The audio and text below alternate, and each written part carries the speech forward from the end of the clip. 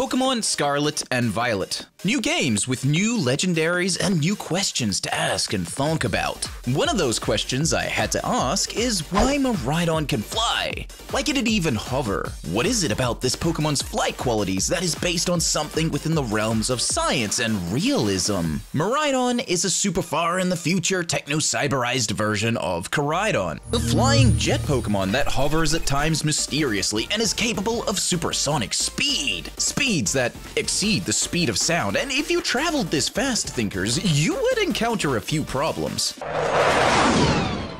Whoa! What was that? Clearly, this hyper-futuristic mecha-like Pokemon's jet engines are based on an airplane, a fighter jet to be specific. What's more mysterious, though, is Miraidon's ability to hover with these jets in spite of such a tremendous weight. But what if I told you it isn't just theoretically possible to hover like this, but this so-called far-distant Pokemon's technology is already possible and used? even in today's current technology. Well, thinkers, let's buckle up and kick this video into Mach 5 speeds, because this intro's already taken too long to set the premise, and I'm running out of time here, so let's get to the point of what I was saying.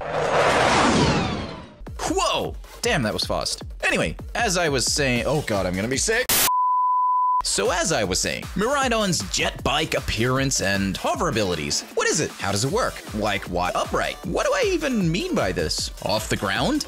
Not tipping forwards? Spiraling forwards forever? Or tilting laterally? Well, all of it. Fighter planes have to control what is called the altitude. That being roll, pitch, and yaw. Yep, that's right. These three things comprise the altitude. Goose, Goose, come in. Can you hear me? Uh, do a barrel roll.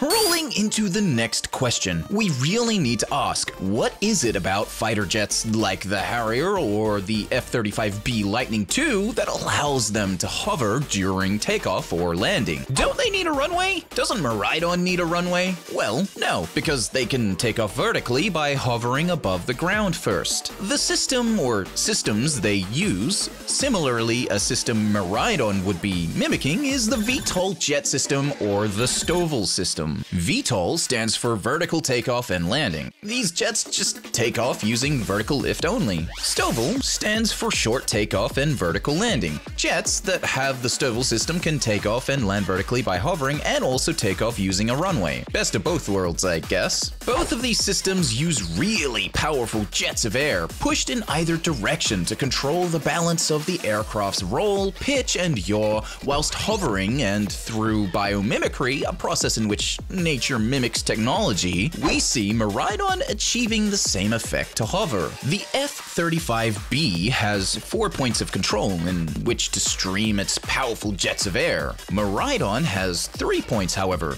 These points are dynamic and unidirectional, as its back legs and chest can move around quite freely though. The physics behind this hovering effect is astonishingly simple, but the engineering is a feat of aerodynamics.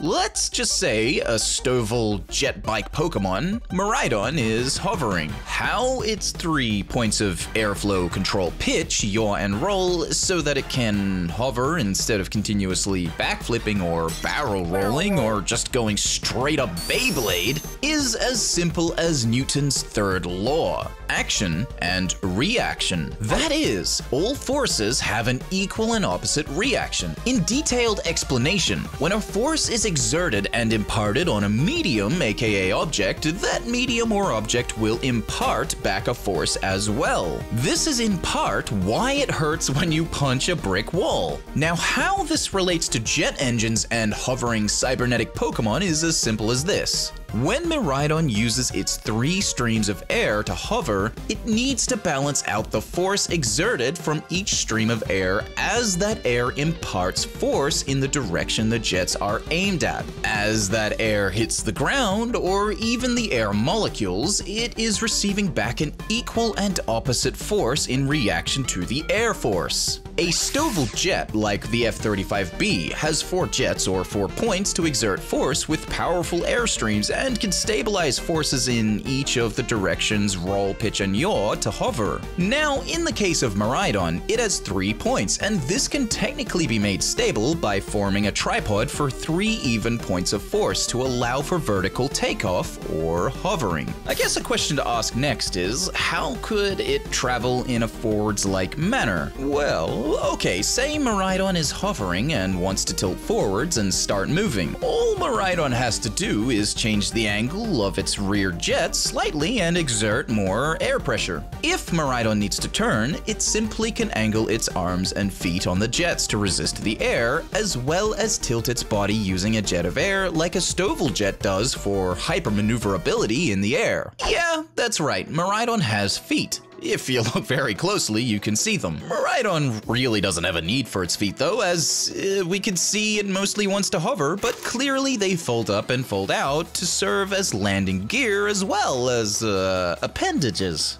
Hmm, appendages. That is a weird word. Anyway, doesn't the yellow lines across Miraidon's body and tail remind you of fuel lines? More specifically, maybe plasma, a form of electrified air? And an F-35B does have a turbofan engine with fans inside it to create its own forward thrust. Hmm, maybe Miraidon uses electrical fields to create its forward thrust. Just speculation, and an idea that popped in from a Patreon community member, but I figured I'd put it here because it fits the electric dragon or electric flying aesthetic neatly. Anyway, Thinkers, if you enjoyed this video, let me know your thoughts in the comments below and hit that like button and subscribe.